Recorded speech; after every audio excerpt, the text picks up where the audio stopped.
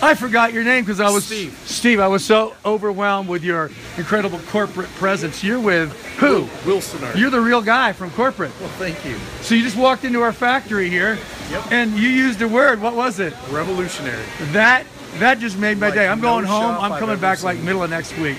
So what was it? What what what was that? What'd you pick up? Just just look. I mean, not only with some great explanation here, Okay, that's Antonio. Yep. But just looking around at how, I mean, from everything being color coded, you can immediately say, okay, somebody thought this thing all the way through. There's organization, there's thought, there's systems, and I get the impression I'm barely scratching the surface of hearing about these systems.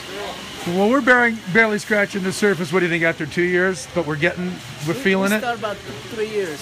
Yeah, three years. We talked about it for about a year Yeah. at least, not Yeah. knowing what to do, and then we we actually We started like four years. yeah we talked about change for And two for years, one a year, yeah, right? And then three years ago, that's when we start getting an idea about what, where we going. Yeah, and I finally decided I didn't want any of the guys peeing in the, on the toilet rim and not cleaning it up. That was the scariest thing for me. You don't saw the so you haven't even been there yet, but we got a men's room that doesn't look like a truck stop. Impressive. So that was that was. I thought I'd have to fire half of everybody or quit. A lot of innovative stuff. Yeah. Very impressive. But the people move like bees around a hive.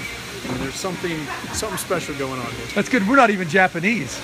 I love that. I just got back from Japan, and that's kind of how we felt at the factories over there. So, thank you. That's huge. Appreciate it. Um, yeah, that's, that's